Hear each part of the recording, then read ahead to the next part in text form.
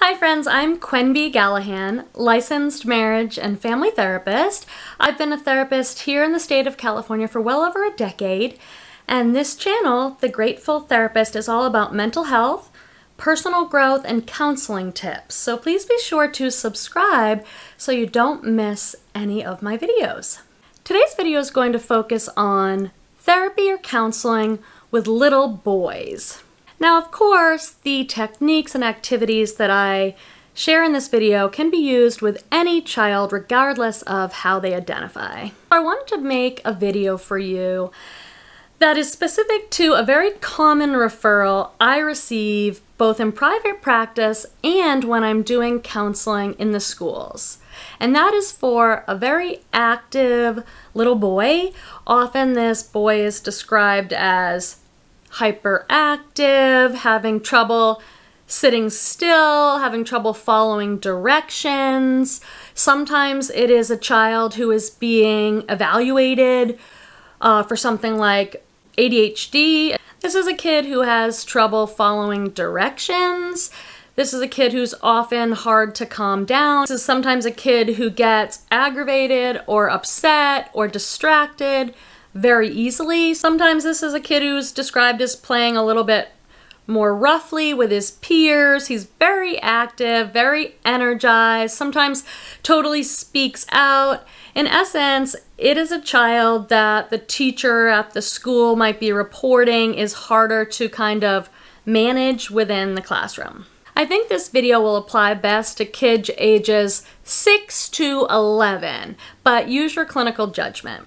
So I'm in private practice now. I've been in private practice for many years, but I've always done therapy in the schools.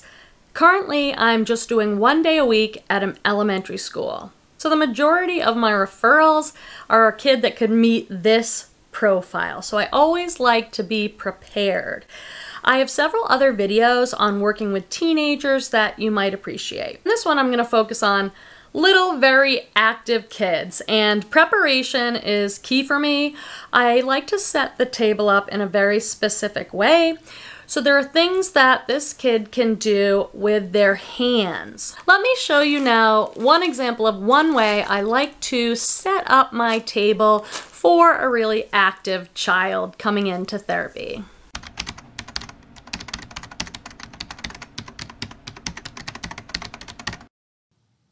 So this is not my private practice office. This is a conference room that I use at the school. So I like to make the table look fun and colorful. These are little foam uh, pieces that I use a lot.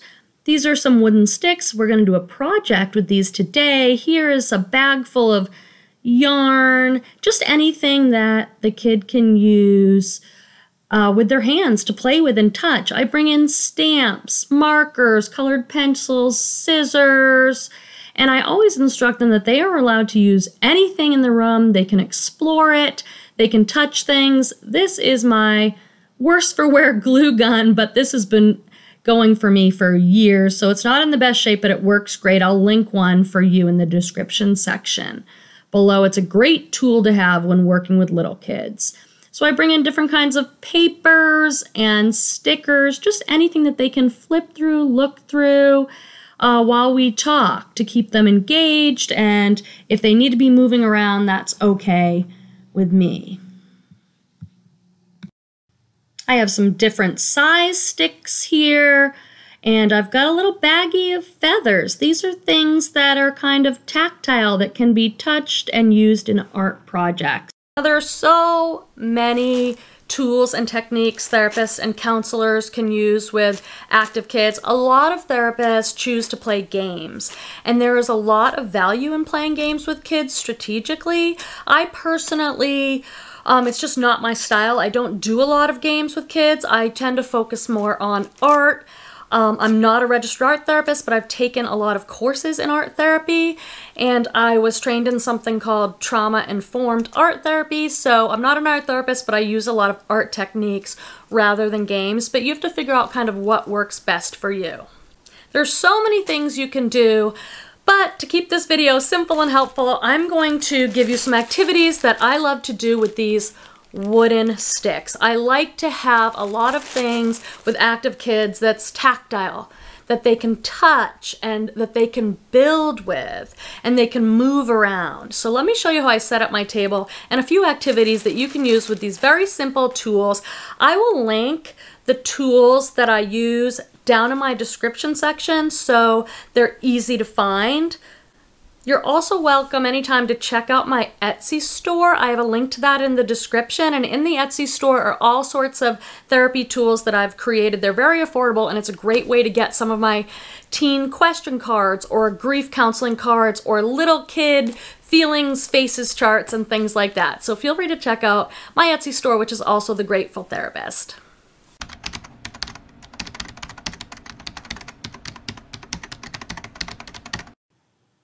So we are going to make one of these spinners using the colorful wooden sticks.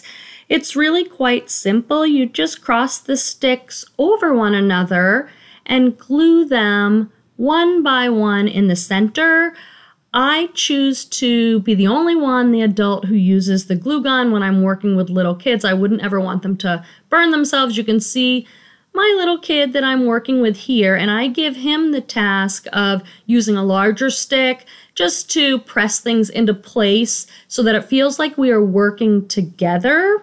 You can use as many sticks as you want. You can let them choose the color so they get lots of choices. In addition, you can use these little foam pieces to glue to the ends just kind of as more decoration and to make the activity last a little bit longer by just placing a little bit of hot glue on the end I place the foam piece and then I let the little kid use a stick to kind of get it in place. It's a great way to talk while we're doing this activity, talk about anything um, that is in my therapy treatment plan. It's really fun. They enjoy it, it's easy and then it actually spins. So some kids come in and said, "Oh, it's like a fidget spinner," and I'm like, mm, "It's just a spinner." You can put another uh, foam piece on the bottom, which helps it spin a little bit. And then here you can see my little client using it, and he was so excited to bring it back to class and share it with his friends, and then put it safely in his backpack.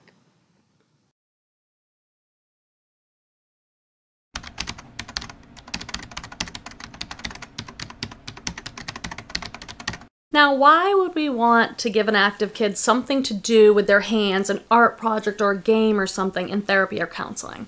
A lot of it has to do with the premise behind things like art therapy, which is kids often feel more comfortable sharing and talking about hard things like maybe what's happening in their family. That's i get a lot of referrals for kids who are having some significant family issues. Maybe mom is in jail or they're living with a grandparent because uh, mom and dad are drug addicts or homeless.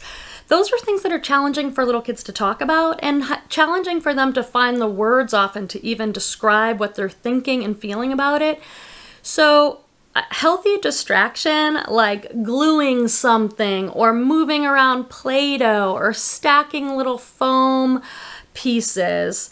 It helps them to be able to talk about hard things when they have this healthy distraction. Also, something I've learned a lot in studying art therapy is when they're doing something like art, they're in a certain place of the brain that is calmer. So you're calming down the brain, calming down the nervous system so that they can have an experience of talking about hard things without getting re traumatized or without activating their systems too much. This is often why I like using watercolor paint so that they can be dipping the paintbrush in the water and the paint and then doing this bilateral movement back and forth. It just puts their nervous system in a calm place and from that place it is easier to talk about the things that are hard.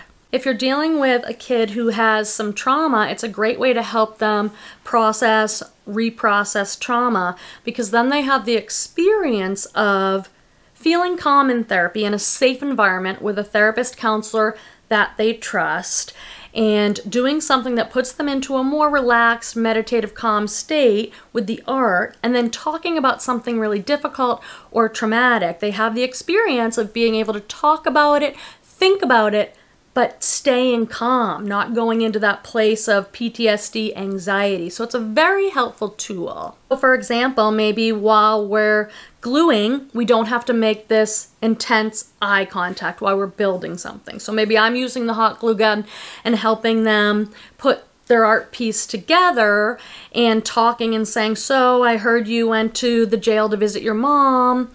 I know that can sometimes be upsetting for you. How was it?